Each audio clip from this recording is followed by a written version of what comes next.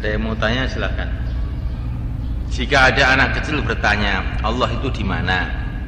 Bagaimana jawaban yang tepat agar si ibu itu tidak salah menjawab dan anak faham? Nah ini saya juga belum pernah ditanya ini. Tapi kalau menurut pandangan saya kalau ada anak tanya begini ini ya, kamu nggak boleh tanya begitu nak.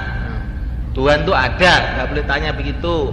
Tuhan itu yang menciptakan kamu, yang menciptakan ibu, yang menciptakan ayah, menciptakan alam semesta ini. Tuhan ada begitu aja. Tuhan itu tidak boleh ditanyakan di mana begitu nak. Udah gitu aja. Kalau sudah gede nanti baru ya tahu Tuhan itu ada sebelum ada tempat. Tuhan itu tidak bertempat.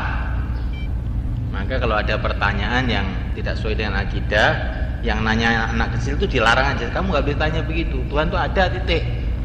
Ada lagi? Nah sekarang takrol dulu ya. Takrol 5 menit. Apa yang saya sampaikan tadi dimudakarokan. Udah.